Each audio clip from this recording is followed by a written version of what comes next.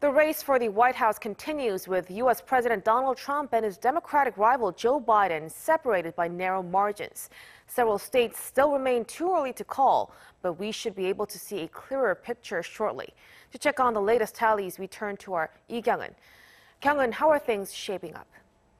Mok-yeon, the country is still counting the final ballots, but for now, we're seeing a clear direction with the outcome leaning towards Biden. He's getting very close to the majority of the electoral votes needed to win.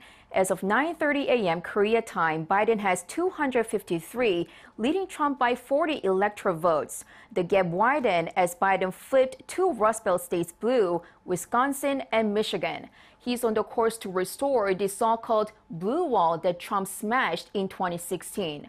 Trump, on the other hand, has won Florida and is showing a lead in North Carolina and Pennsylvania. But in Arizona, Biden is ahead of Trump. We're also paying close attention to Arizona, where there's a lot at stake. If Biden eventually takes the state, all he will need to get the majority of the vote is to win in Nevada. And Biden is actually leading there at the moment. So if he holds on in these two tipping point states, Arizona and Nevada, Biden could win the race without needing Pennsylvania. That's all I have for now. Back to you, Mok-yeon.